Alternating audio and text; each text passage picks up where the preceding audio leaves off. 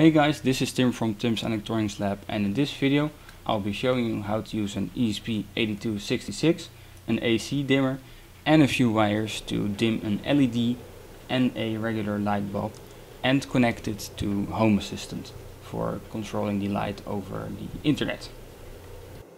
First we take a look at this board. As you can see right here there's a, a device on the board and that's called a triac. On the left you can see the symbol of a triac and the triac that is used on this board is the ST-BTA16 that stands for 16 amps. Now in order to control the triac you need to apply a voltage to the G pin which allows for current to flow between pin A1 and A2. Sounds familiar right? Well if we take a look at transistors and MOSFETs we can see that the idea is almost the same. You apply a voltage to the gate and the current will flow from drain to source. So why not use a MOSFET, uh, you may ask? Well, that's because uh, MOSFETs are used for uh, signals where polarity matters. With AC, you don't have a polarity and the triac is able to handle it. Now how would you control the triac? With a MOSFET you apply a PWM signal to the gate pin and that in turn puts the MOSFET in an on or in an off state. The higher the duty cycle, the brighter the light will be. Well, with a triac, things go a little bit different. As you know, the lights in your house use AC or alternating current. This means that the current and the voltage is alternating between the wires. If you use the same PWM technique that the MOSFETs use, you would randomly switch the AC off at a certain unknown point.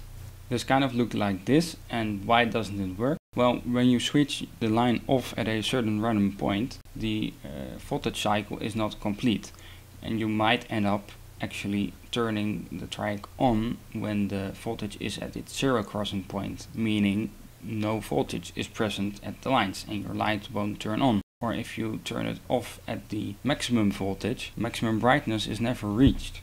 So how would you dim AC then? Well, glad you asked, because to dim AC you need to kind of follow the voltage sweep and cut it off at a certain point that equals uh, the brightness you want the output signal to have. That looks like this. So then you may ask, are we done now? Well, it depends. If you want to dim regular lights, uh, inductive loads, yes, then we're done. If you want to dim a LED light, the new modern fashion thing, we're not done yet. Some LEDs might work with the previous dimming method, but you're better off using this dimming method as it provides a soft start function which results in a lower inrush current because of the sudden charging of the capacitive LED light. Now what both methods have in common is that they work with AC or alternating current and that they need a zero cross detector which triggers when the voltage crosses the zero volts as that's the point you want to apply your dimming.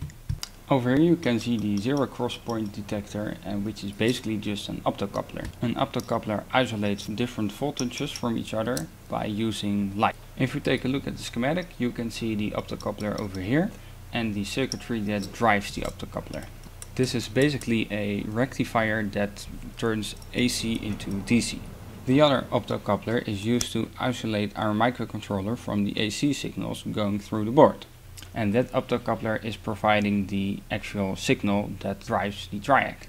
So after uploading the code that is adjusted to work with the secure MQTT broker that I created in uh, a video of mine, uh, and after connecting the ESP8266 to the dimmer, I was successfully able to dim and light. So after attaching everything to the board, it was time to swap the leading edge to a trailing edge in order to allow LED lights to be dimmed.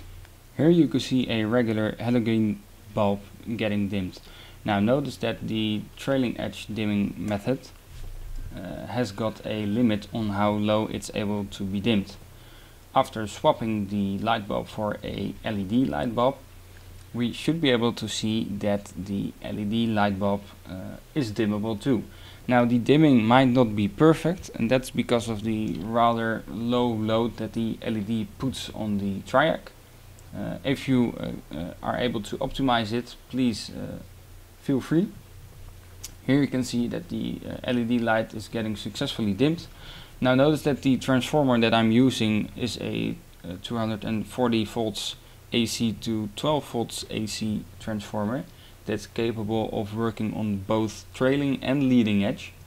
Uh, that's important because not uh, a leading edge transformer is not fully compatible with a trailing edge transformer and that's the same for the light bulbs that you're using. Now in part 2 of this video I will show you how to attach a AC to 3.3 volts DC transformer and how to use a remote control to be able to control the actual dimmer without using Home Assistant. Hey guys, this is Tim. I hope you liked that video. If you want to see more, please make sure to subscribe. Uh, you can also share the video with your friends and hit that like button. I'll see you in the next one.